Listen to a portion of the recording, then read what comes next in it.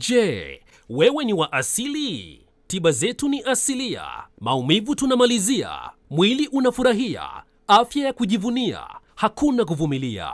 DDF Herbal Clinic, mimea ya uhai, maisha asilia. DDF Herbal Clinic, tupo Mwanza Isamilo, karibu na shule ya Lake.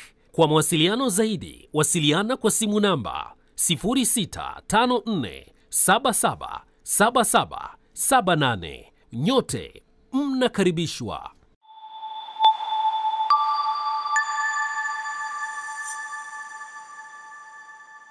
Okay. Bwana, tuko na Harmonize. Ngoja kwanza, ngoja kwanza, ngoja kwanza, ngoja kwanza. Haya, waandishi wa habari, sisi kama Baraza la Sanaa la Taifa tumeongoza Watanzania kuja kumpokea msanii wetu, msanii nguli, ameleta heshima kubwa kwa taifa la Tanzania. Dr. Samia Suluhu Hassan, Rais wa Jamhuri ya Muungano wa Tanzania, ameleta salamu nyingi na pongezi nyingi kwako Harmonize. Basi waandishi, endeleeni na interview, tuendelee na safari.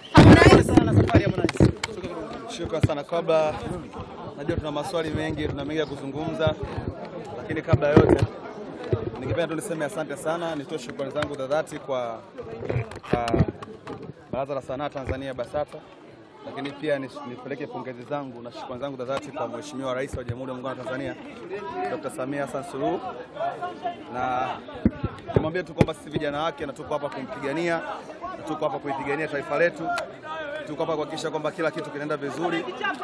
Tutajitahidi kadiri ya uwezo tunaoweza, tutume vipaji vyetu, nguvu yetu, akili yetu, ukiambatanisha na, um, na support yenu ambayo mnatupatia kuhakikisha kwamba taifa hili linapata heshima na tunapeleka sanaa mbali zaidi, lakini pia za kipekee ziende kwa Baraza la Sanaa tena, uh, waziri, naibu waziri na katibu na BASATA kwa kuendelea kutusimamia, kutuongoza pale tunapokosea, kutukosoa na kutuambia bwana, piteni, hii ndio misingi sahihi.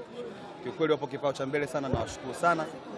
Na za mwisho kabisa ziende kwa media, vyombo vya habari pamoja na uh, mashabiki wote kwa ujumla kwa kuendelea kutunga mkono, kusoma nasi katika kila hatua na kutufanya tunafika hapa tunapofikia. Kwa hiyo mimi nawashukuru sana na wote wanaonipigia kura na hata wale ambao kupata bahati ya kunipigia kura, lakini huu ushindi na kwetu wote sisi wote wa Tanzania, na hizi awadi zote ni kwa ajili ya Watanzania. Kwa hiyo mimi nawashukuru sana. Umefanya kazi kubwa na tuzo ambazo eh, umezipokea tuzo tatu ziliwashukua mashabiki zako.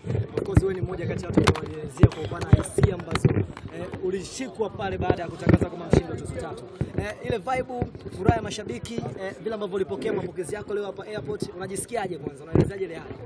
Uh, kama nilivyosema, nitakuwa mchoyo wa fadhila au nitakuwa muongo nikisema tuzo zina zina yake, lakini am- kama nilivyosema mwanzo kwamba mimi nilijiwekea sitokuwa msanii wa award, lakini kaja kugundua kwamba kumbe nalikosea taifa langu, lakini pia nawakosea mashabiki kwa sababu award inawezekana isiwe isiwe priority kwangu, lakini ikiwa priority kwa taifa pia ikawa priority kwa mashabiki. Lakini pia si unaona kila mtu ana furaha hapa, kwa hiyo furaha wengi ndio furaha ya Mungu. I'm happy. Uh, lakini pia tuzo, tu, tu, tuzo tatu uh, lakini pia umempokelea Rayvanny tuzo yake Yeah, yeah. na Rayvanny tulita- tulitarajia kumwona hapa airport. Tunataka kujua uhusiano wenu sasa hivi mpaka kumpokelea tuzo, lakini pia uh, kama tutamkuta Konde Village au tayari kafika hapa amekaa somewhere.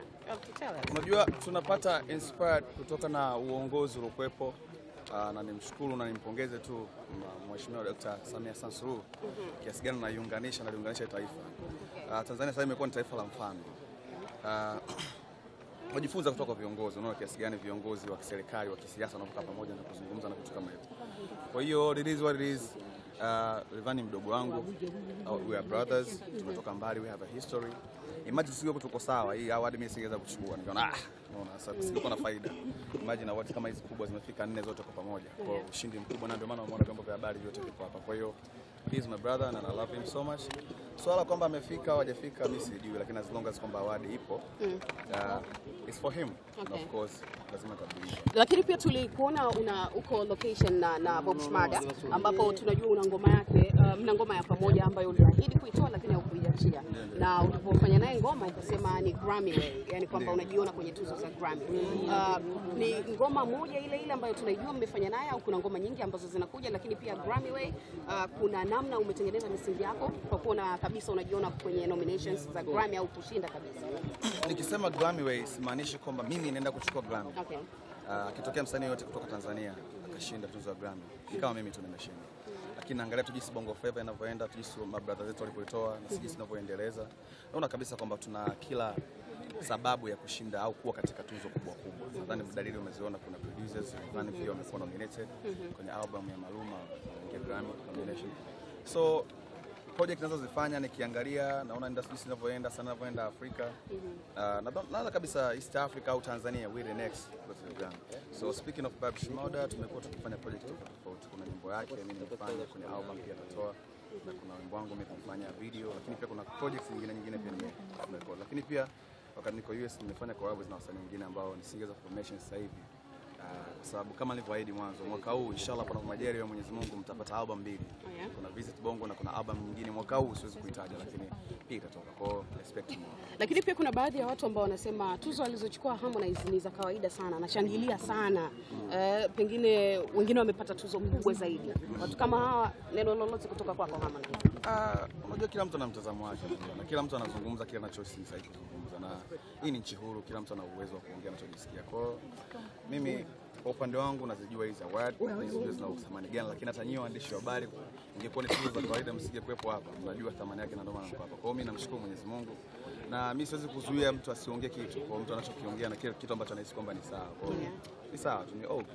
Harmonize ile tuzo ya tatu ambayo ni Afro King Afrobeat pale Tanzania ni ya kwako pia, na siku kadhaa nyuma wewe ni ulikuwa msanii miongoni ambao ulisema kwamba unaibadilisha industry ya music kwenda kwenye Afrobeat na tuzo umeipata. Pengine hii ni moja kati ya njia ambayo imekupigisha hatua kwamba sasa hivi tutaenda mfumo huu huu hamsingo goma linakuwa mpaka tunafikia maana. Ah, ni mipango ya Mwenyezi Mungu inshallah. Mimi I just try to do my best. Nafanya kile kitu ambacho nahisi kwamba hiki ni sahihi. Just doing my best. Vingine the rest namwachia Mungu na mashabiki. Okay, kwenye hili kuna comment gani swali- la mwisho hilo, ama alikushika mkono mpaka bado hapa ulipo kufurahia tuzo tatu ambazo umezipata. Umeona Diamond naye kafurahi baada ya kuona wewe umepata tuzo tatu. Nakumbuka alizungumza hilo. Kuna watoto wangu nimeona amechukua tuzo, kuna mmoja akachukua moja, kuna mwingine akapata tatu. Alimtaja Rayvanny na mtu ambaye amepata tuzo tatu ni wewe. Unaonaje baba ambaye amekusimamia naye yuko happy kwa wewe kupata tuzo tatu? Uh. Hiyo ni dalili ya kujitambua. Ukiona Ukiona mtu anazungumza hivyo basi anajua amejitambua. Kwa hiyo I'm proud of him. Na namshukuru sana. Ah, labda Ibra angeweza kuzungumza lolote kuhusiana na hiki ambacho eh, amekiona sasa. Yeah, yeah, yeah, yeah. Uh, uh, mi niseme tunamshukuru Mwenyezi Mungu, lakini pia ni kitu kikubwa sana kwa sababu sisi huwa tunaangalia hivyo vitu na tumeanza kujifunza tangu tuko vijijini huko mpaka leo. Tukiona hizi tunzo zinakuja hivi, tunakuwa tuna uchungu zaidi, so watu wakae tayari kwa ngoma zinazokuja, wataenjoy zaidi. Lakini pia lakini pia nilikuwa niko na, na, na nilikuwa si nimelisikia swali la huyu mdada anasema uh, kuna watu wanasema tunzo ni za kawaida. Useme kwamba chawa wametumwa kusema tunzo ni za kawaida na sio za kawaida. Huyo anasema za kawaida alikuwemo kwenye tuzo. Harmonize tutegemee 2024 tuzo zinarudi nyumbani. Amina inshallah. Hii